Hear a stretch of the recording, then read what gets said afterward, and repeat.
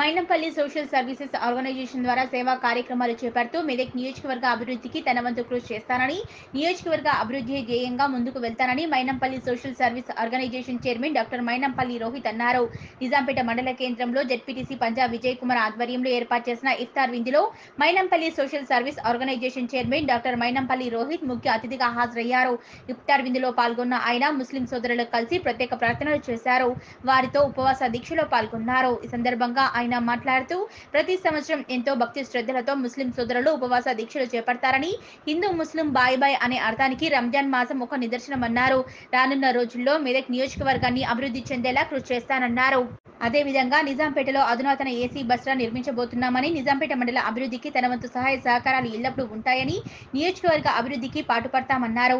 Mynampally social సర్వీస్కు సహకరిస్తున్న ZPTC Punjab Vijay కుమార్కు కృతజ్ఞతలు తెలిపారు.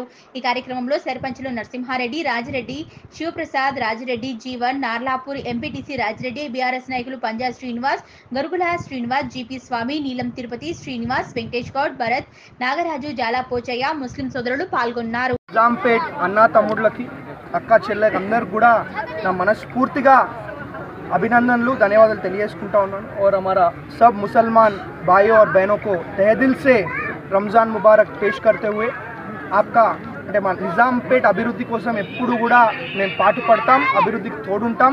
మరి మీకు తెలుసు మనము నిజాంపేట్లో అంటే మెదక్ జిల్లాలోనే జిల్లాలోనే ఆదర్శ ఆదర్శంగా ఒక మరి బస్ స్టాప్ కట్టబోతా ఉన్నాం. మరి అది ఏసీ బస్ స్టాప్ ఉంటుంది. నేను రాత్రి పగలు అనే తేడా లేకుండా మరి దీన్ని అభివృద్ధి పరచడానికి మేము శ్ర పాటుపడతామని చెప్పి తెలియజేసుకుంటాం.